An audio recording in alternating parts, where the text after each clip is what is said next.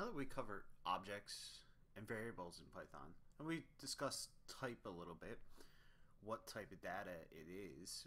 For example, in objects, it has a type uh. It says, "Hey, this is a an integer, or this is a floating point number, or this is a string."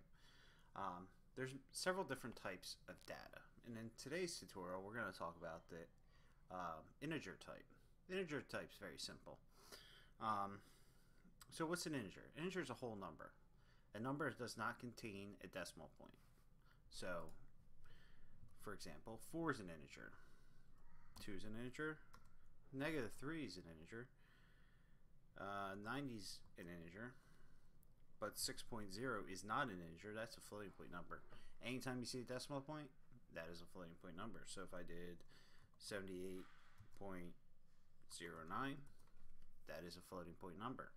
All right, so it's different than an integer. Now, integers have unlimited um, precision, which means they'll have they'll be precise all the way up to the point where there's no more memory left, and then they're no longer precise. They'll be cut off at that point. Um, so that's just something to think about. All right, so let's do a little coding exercise. Let's use the type built-in function, which will return to us what type of um, data we're working with.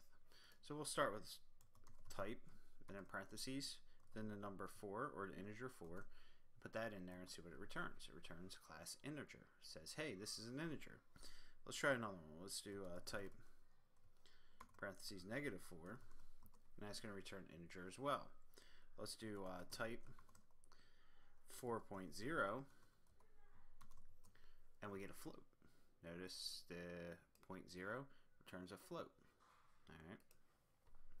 Um, how about uh, now we see what a float is. Let's talk about the other number type, which we'll discuss in a little bit some more.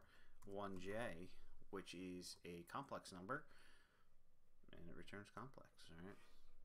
Um, now, there's another thing we need to know how to do when working with um, integers, and that's convert numbers that aren't integers at the time to integers. So let's go ahead and try that out. The first one we'll do is uh, integer, and we'll make a string. So integer 3, or I should say 3, that's a string. We're going to convert that to an integer. So we use the int, this is the integer conversion built-in function, hit return, and that's going to return an integer of 3. Alright. Um, let's do another one. Int, and we'll convert a floating point number this time, 5.4 returns 5. Now, when we use the int built-in function, it's always going to round down. So even if this was int 5.9, it's going to round down.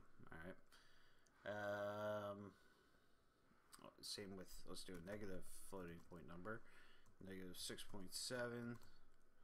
Boom. Rounds down to 6. Um, we cannot convert complex numbers to integers. See, we get can't convert com complex to int. All right, so just keep that in mind. Um, so that's basically integers. If you can remember, any number does not have a decimal point, it's an integer. And integers have unlimited precision up to the, what memory will allow, and they're pretty easy to work with. So in the next tutorial, we're going to take a closer look at floating point numbers. We'll see you then.